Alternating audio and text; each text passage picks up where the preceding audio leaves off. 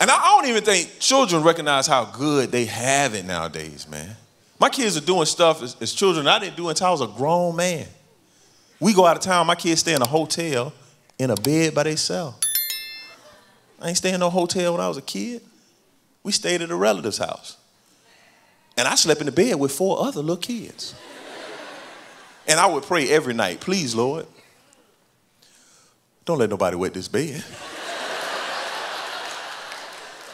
Uh, but that prayer would fall on deaf ears every time. That prayer, that prayer was never answered. My kids have luxuries. My kids go to daycare. I ain't go to daycare when I was a kid. My grandma kept me. And all day it seemed that she didn't care to have me at her house. Yeah, because days at my grandmother's house consisted of beanie weenie lunches and marathon naps. And the reason I say marathon naps, because my nap time corresponded when it was time for her to watch her stories. Yo, when those stories came on, my grandma was like, lay down and go to sleep. Lay down and go to sleep. Y'all had to sleep from the beginning of Days of Our Lives to Santa Barbara went off. I'm like, that's three hours, Grandma.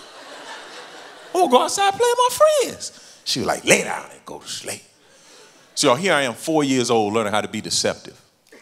I'm laying on the couch, eyes wide open, fake sleeping, like,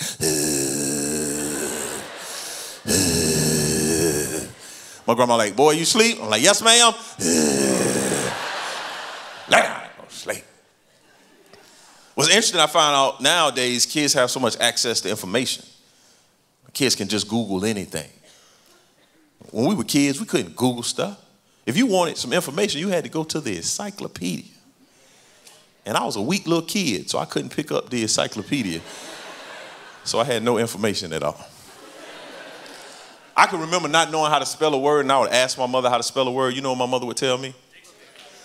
Look it up in the dictionary. I was like, Mama, I don't know how to spell a word.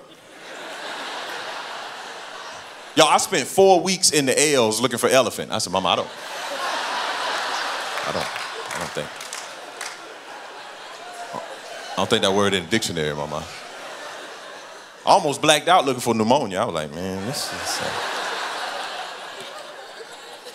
I was doing a report. I was like, the man was very, very sick. That's what I.